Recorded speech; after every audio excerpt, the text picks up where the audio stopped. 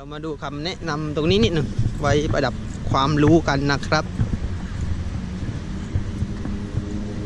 นี่เทศบาลกะลุนอันนี้ก็เป็น นี่ครับผม rip current ก็เป็นเขาเรียกเป็นอะไร น้ำวน น้ำวนนะครับ เป็นลักษณะก็คือเป็นฟองนั่นเอง ถ้าเป็นฟองลงไปในทะเลแบบนี้ พยายามอยู่ห่างๆครับ เพราะว่ามันจะ เป็นทางที่น้ำเนี่ยมันไหลลงกลับไปในทะเล และมันอาจจะดึงตัวเราเนี่ยลงไปด้วยนะ นี่ก็บอกว่า don't fight the current อย่าไปต่อสู้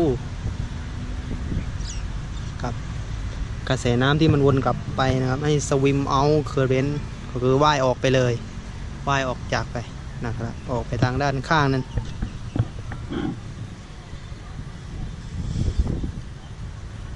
ก็บอกว่าถ้าเป็นไปได้เนี่ยนะให้ลอยตัวนะครับให้ลอยตัว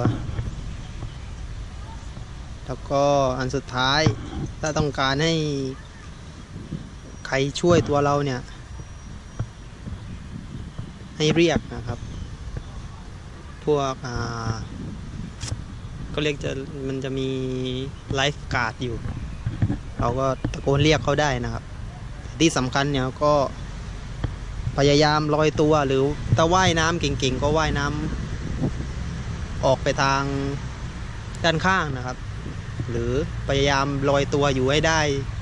เพราะว่ามันจะดึงลงไปแค่เพียงจุดๆหนึ่งแล้วมันก็จะหยุดนะครับ เพราะว่ามันจะมีคลื่นลูกต่อไป ดันกลับมาอีกนะครับ อย่าตกใจไอ้นั่นเป็นสิ่งที่สำคัญครับผม อย่า อย่ากระวนกระวายนะครับผม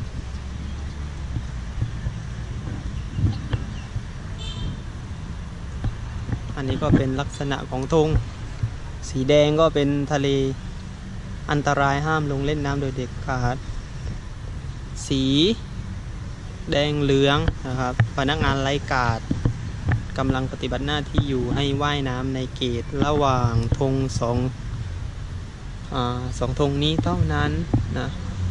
ก็ดูไว้ละกัน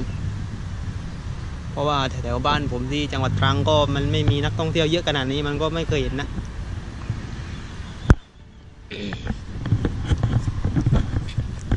ก็ที่นี่ก็เงียบสงบ